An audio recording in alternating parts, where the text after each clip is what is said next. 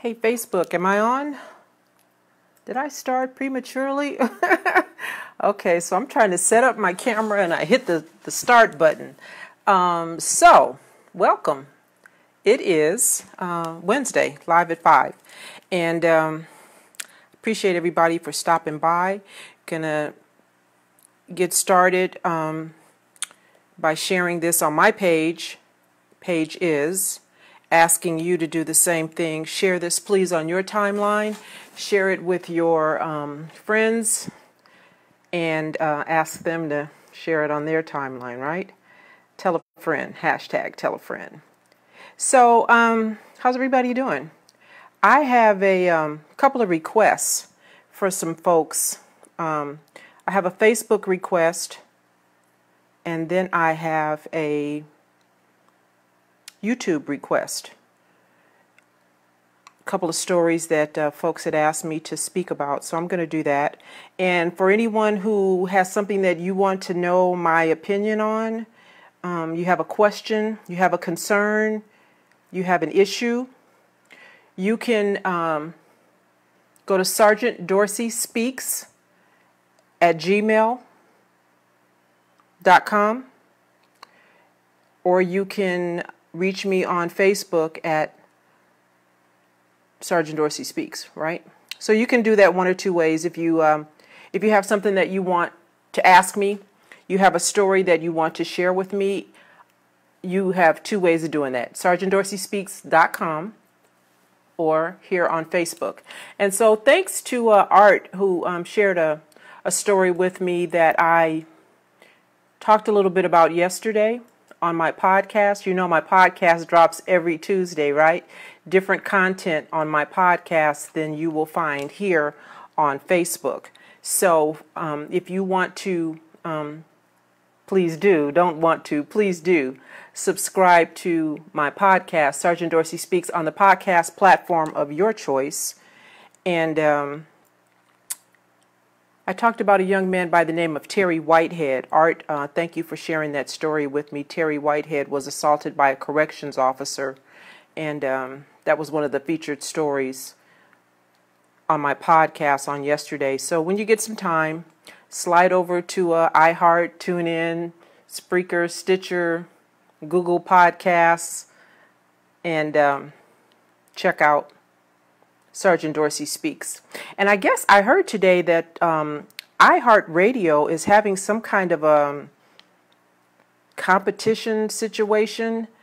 And um, if you would be so kind as to go and subscribe to iHeart, create an account, subscribe to my podcast on iHeart, and then vote for me. I guess they have different categories, and I believe one of them is law enforcement. So you can go and um, vote for Sergeant Dorsey Speaks over at iHeartRadio. That would be amazing um, if I could have a couple of fans stand in, agree- in agreement with me. I would really appreciate that. So, now that everybody's here, or at least a few of you are here, don't forget share this on your timeline. Let's get right to it. So, um, I wanted to start off by um, mentioning again because you know the holidays are coming up and this is a very difficult time of year for a lot of folks.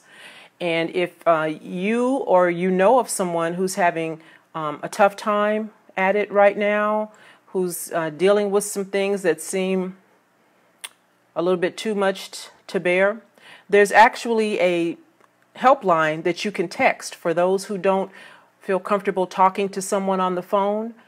You can text 741 741. And that is a suicide crisis line here in the U.S. And you can find someone at that number, text number 741 741 24 7. And they will um, help you and talk to you about whatever it is that, that's concerning you. So let's be mindful that there are people that are out there in a bad way. And it may not be you, but it might be someone you know.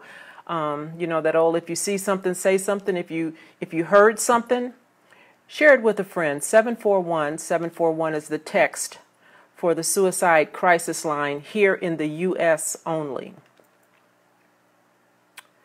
So, first story I want to talk about, uh, I'm sure by now everybody's seen the video, so I'm not going to put it up, but um,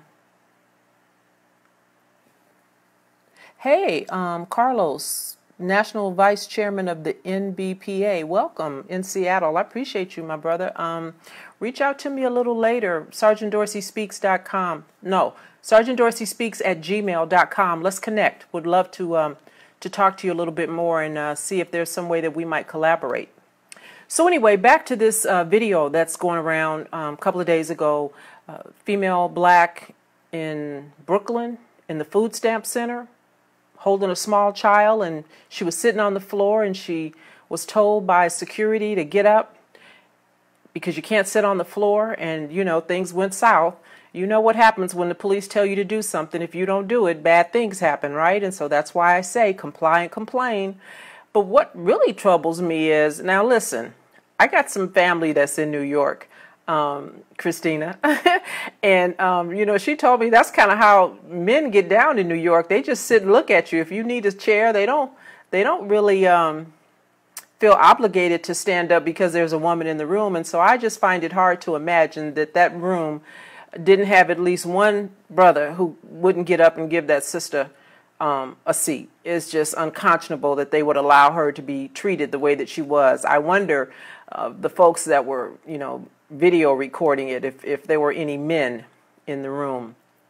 Hey, Barry, if there were any men in the room who allowed uh, that young woman to be treated that way. And, and then listen, what's up with the police officers? Four or five you guys in New York?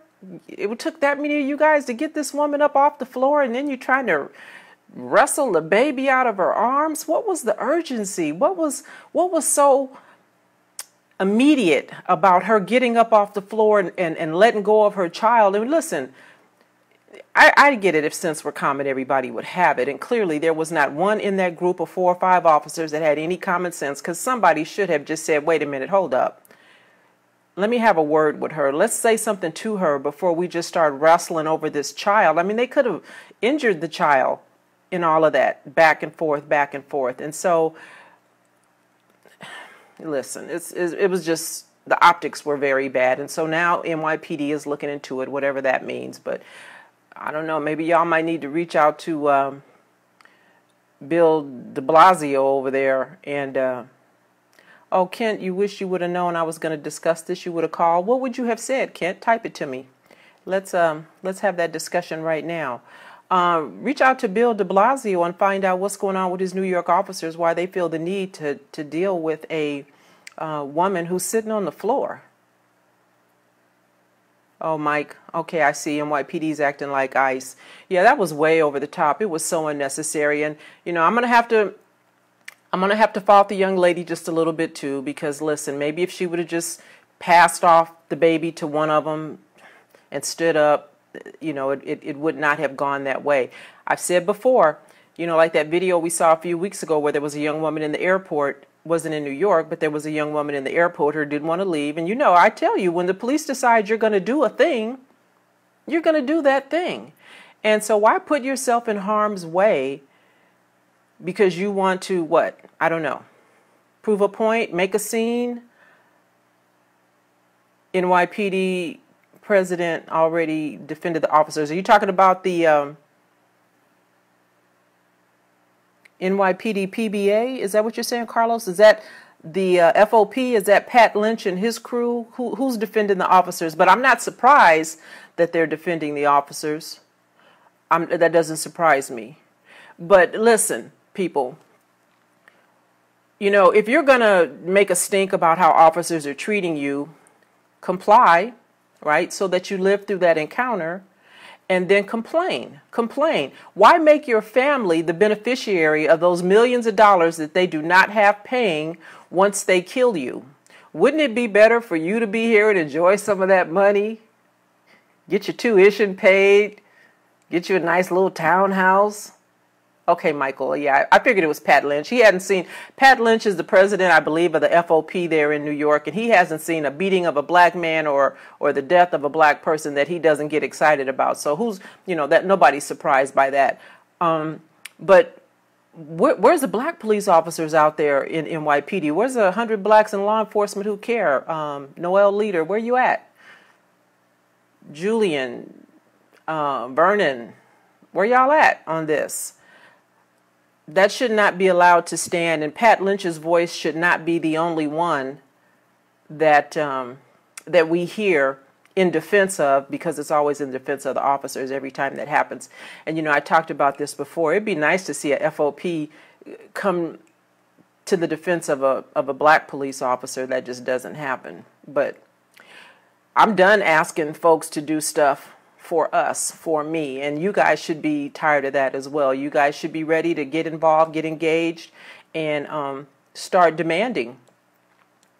Start demanding. Hey, Carlos, yeah, I, I, talked to Sonia Wiggins. She reached out to me and um, I left her a message. So when next you speak with her, have her um, check her voicemail. I left her a message.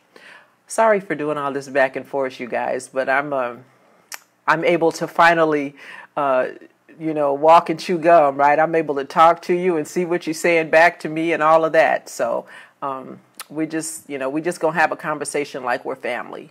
So anyway, um, listen, back to the food stamp thing. I'm just very bothered by it. Um, NYPD says they're investigating, whatever that means.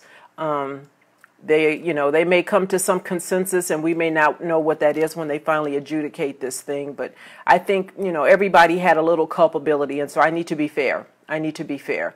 Officers overreacted. They should have de-escalated the situation and the young woman exacerbated the problem by not just relaxing relinquishing the child. Hey christina uh, relinquishing the child and then get, getting to her feet. And there has to be a backstory. I don't know what that's all about, you know, with her sitting on the floor, that it was such an issue. And listen, I know that it was the security uh, who initiated this confrontation with the police. It was a security officer. And so, you know, that explains a lot of why that got started because every, you know, I don't, I ain't hate no security guards, but every security guard, probably seven out of 10 of them, you know, want to be the police.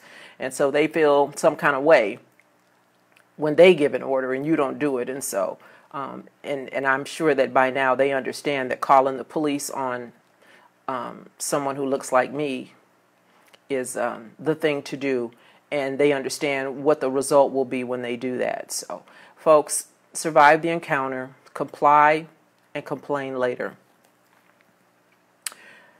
The other story that I wanted to talk about came to me by way of one of my YouTube subscribers, and um, I, I didn't realize when uh, the person, and I won't say their name, but when the person asked me to speak on this, this is actually kind of an old story, but I'll just touch on it real quickly. It happened last year in 2017, and there was a young man by the name of Jawan Nicholson, and Jawan and a friend of his were waiting on a, um, they were waiting for a bus or something, and um, hey, Sean.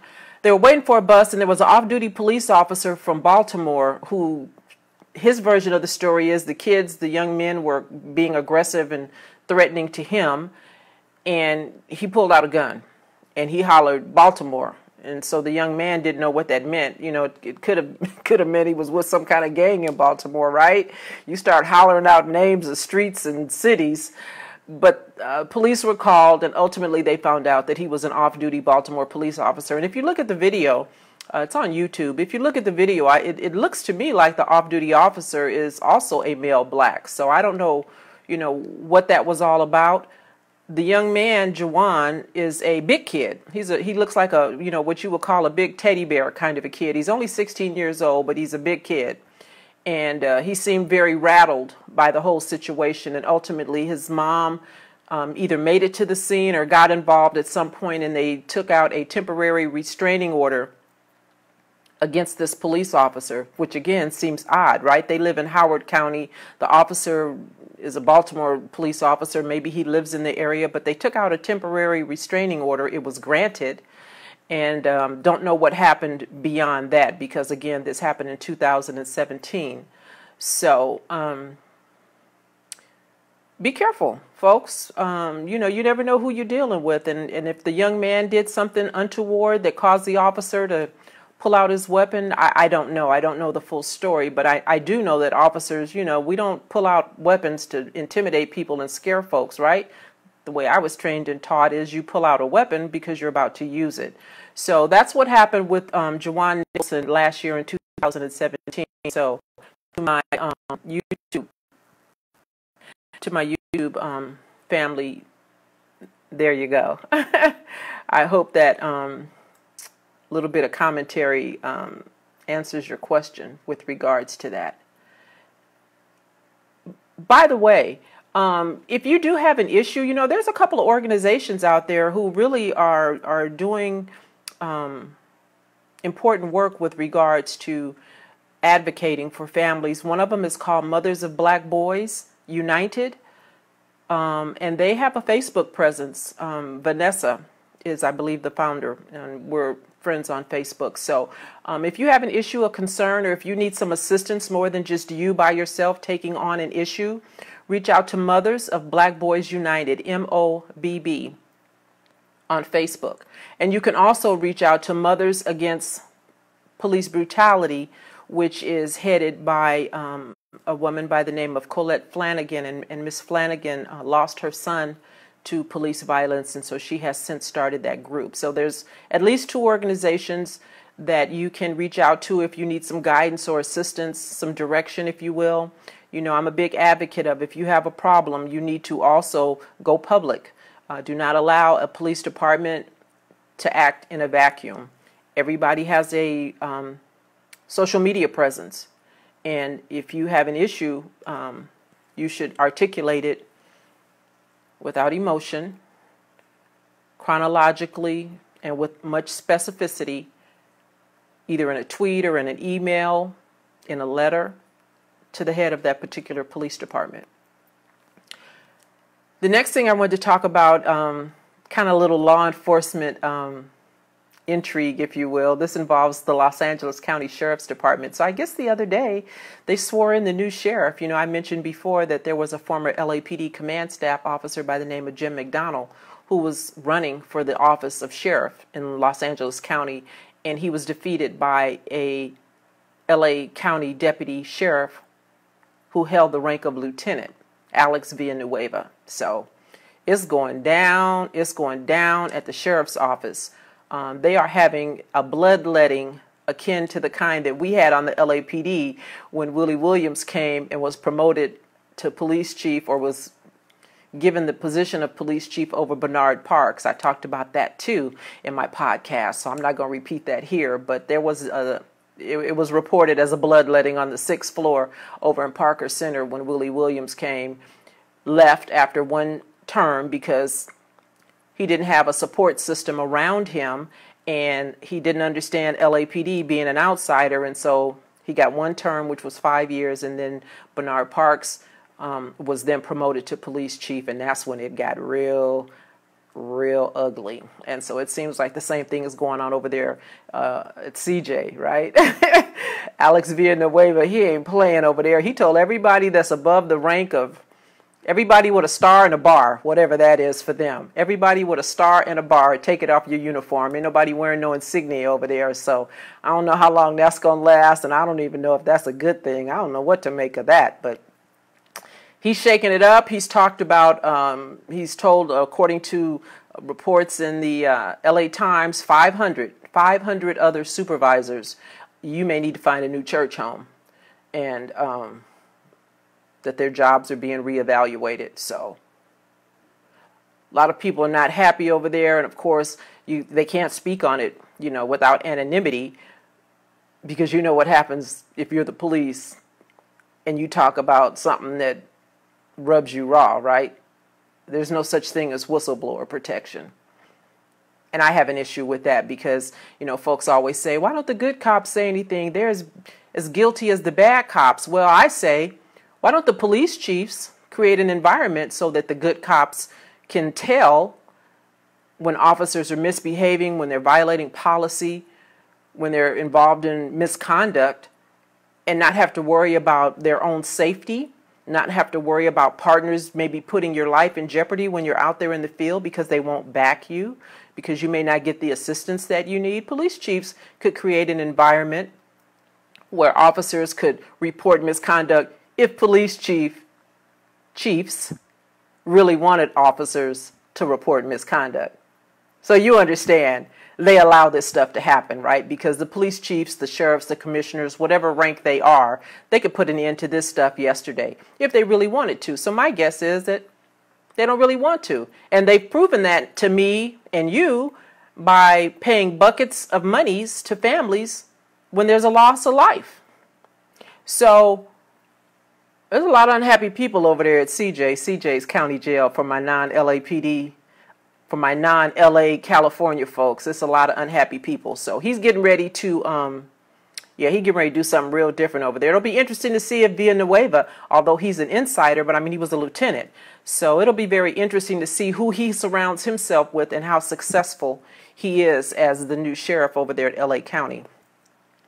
Now, you know, I don't do political stuff, but you know, I'm having a I am just beside myself with giddiness right now. I am really like a 12-year-old with all this stuff that's going on with little Tink Tink and uh, you know, Cohen and him telling and you know, today Cohen got 3 years in uh, federal prison allegedly. He can tell some more if he wants to because he doesn't have to turn himself in until sometime in March. So the way I heard it on TV is that he can lessen that three year sentence if he um, has some more information that he wants to share because it sounds like he might have held some stuff back. That's why the SDNY was so um, unforgiving, if you will, with him in terms of they wanted him to get the maximum penalty.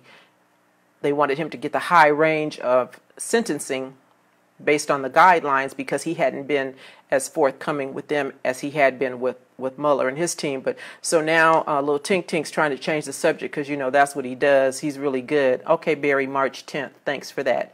Michael Cohen turns himself in March 10th, according to Barry, who is all knowing. Thank you, Barry. um, so yeah, so now he's trying to change the subject. You know, this thing has been sitting around waiting to be voted on, and McConnell had no interest in moving it forward. But now there's something called the Criminal Justice uh, there's a criminal justice bill called the First Step Act. And the First Step Act has something to do with um, mandatory minimum sentencing and you know who who goes to jail for what and why and I guess um, Cory Booker was also uh, instrumental in trying to push this, but they could never get the votes to go forward. So now all of a sudden, little Tink Tink want to um, you know, he want to make some folks happy and um, make sure that this uh, first step act gets passed. And, and, and a lot of this has to do with, um, they said if this bill passes, it has provisions that allow judges to have more discretion in sentencing offenders for nonviolent crime, particularly, particularly drug offenders and it also aims to improve rehabilitation programs for former prisoners. Now, you know, I, I got kind of excited when I saw the particularly drug offenders because I'm thinking about this opioid uh, epidemic this this jumping off right now, right? There's much talk about something needs to be done all of a sudden with regards to this opioid and this first step act will certainly help those who um, have have an issue with opioids, and you know the way the way that got started is that you know people are being uh, seeking prescription medication in um, and being over over over prescribed with um, fentanyl. I think fentanyl is the number one. There was a whole thing on the news this morning about the top four or five drugs, fentanyl, and um, I mean it's past cocaine and heroin now, and it's um, it's it's the number one killer. I think like 18,000 people have died in like the last year or something. It's it's really you know wreaking havoc, and so I'm not um, supporting that you know folks don't get help, but it's just very interesting that all of a sudden now something needs to be done about this opioid situation. So we'll see what happens. Um, lastly you know, um, I'm not a, I'm not in the BeyHive, right? Um, I'm not hating. I just, you know, I just, just, it's just, I'm, I'm not a big um, Beyonce fan, but um, there was something that I saw came across my Twitter account where, um, I guess over the weekend, I'm gonna put up a picture. It was very pretty. She, um, she, um, she performed at a wedding in India. Beyonce did. She performed at a wedding in India for the richest man in India. I'm trying to get this picture. And um, I've seen some of those um, weddings for, you know, the very well-to-do in India, and when they put on a when they when they put on a show, they put on a show, and so um, Beyonce was um, she was there and performed. Okay, so it's not allowing me to um, show you the picture. Maybe when it's all done, I'll go back on and I'll um, I'll put the picture up for anybody that hasn't seen it. But anyway, she was very pretty. She put on a pre-wedding uh, concert, two million dollars. They say her her her private parties, her private concerts start at $2 million. And so this guy, the richest man in India, put this on for his wife, who was also, I mean, for his daughter, who was also very beautiful. And um, he's worth 130 billion. So $2 million or 2 million plus dollars for a pre-wedding party probably not, you know, not well. Clearly, it's not a big deal. He's worth 130 billion. He's the richest man. Yeah, Barry, I know. I saw that um, that Hillary was there. Yeah, I saw that Hillary. Uh, it was written that I mean I didn't see because I wasn't there, but I, I read that Hillary Clinton and um, obviously, other notables were there for that um, wedding. But, but um, you know, if you are so inclined and you want to see what it looks like, it was very, very, uh, very lavish, um, very nice, very nice. And the daughter of this gentleman uh, is just beautiful, and I'm just so intrigued by their um, their dress, if you will. Um, again, when I get an opportunity, I'll go back and and put up a picture of both Beyonce, who's in in, in Indian type um, garb, and then the daughter looks like a formal portrait of, of his daughter, the bride to be. So, that is all I have for you guys today. Listen, um, you know, we talk about this all the time. I had said last week what I wanted for Christmas. It's not too late, right? You guys still making your Christmas list?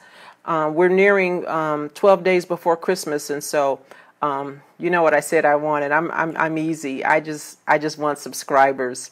So that's what I'm asking for for Christmas. I'm asking for new subscribers, for for you to share me with people that you care about, for you to tell folks um, who mean a lot to you that I exist, so that um, we can make sure that they're here through this year and and and prayer, prayerfully all of 2019 and and the years that follow. Right. So. Um, if you find benefit, and I'm sure that you do, in, in what it is that I say and how I say it with regards to what I think might keep you safe when you're interacting with police officers. I make no guarantees. I tell you what what I know for sure will get you in trouble, right? Because I know me, right? And I know if if I pulled you over and you was asking me a bunch of questions, it's going to be a problem. Hey, Fran, it's going to be a problem. So I know what will get you in trouble for sure, for sure, but I don't know what will keep you safe. So, um, want to make sure that everybody understands that holding court curbside with a police officer is not in your best interest. I want you to survive that police encounter. I want to see you all in 2019, and we'll do this a couple of more times before we get up out of 2018. And um, as we go out the door, um, be sure to subscribe to Sergeant Dorsey Speaks podcast subscribe to my YouTube channel, Sergeant Dorsey Speaks. And when you get over there, be sure to like it and share it. Subscribe and follow me on Twitter and Instagram, Sergeant Dorsey Speaks, Sergeant Cheryl Dorsey. And that's Sergeant SGT, the abbreviation, right? Stop by my website, SGT, sergeantcheryldorsey.com. Check out my book, Great Stocking Stuffer, Black and Blue, The Creation of a Social Advocate. See you guys next Wednesday. Until then, be good and be safe.